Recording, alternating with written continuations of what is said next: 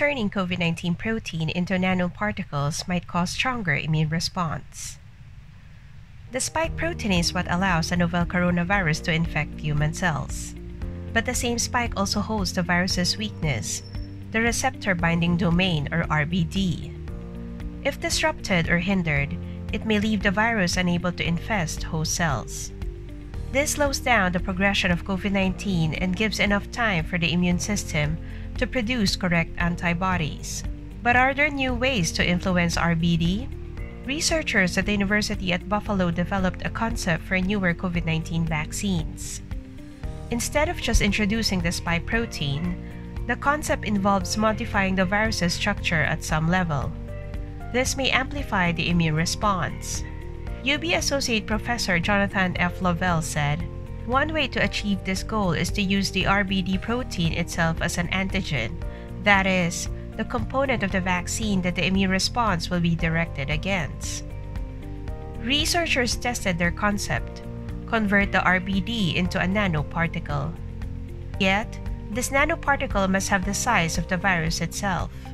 The modification might enhance the detection of the immune response.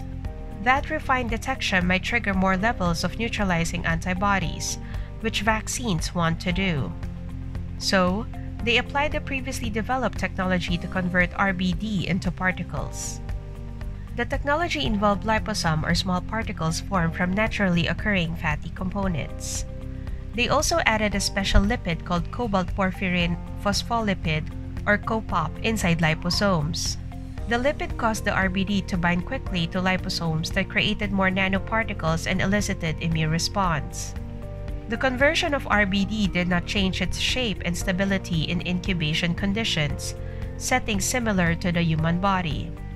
They immunized mice and rabbits with RBD nanoparticles to test stability and immune response. Results show that immunized animals express high antibody levels. When they compared their concept to other materials with RBD, the COPOP and liposome duo had the highest immune response. While the concept is still in the early stages, laboratory tests reveal that RBD may be exploited. As antigens, the immune system may directly attack RBD to pacify the coronavirus. This approach may be ideal in vaccine development that often aims at prevention. However, only COVID 19 vaccines in the draft phase may consider the concept. The ones leading right now are already in phase 3 clinical trials. The study findings were published in the journal Advanced Materials.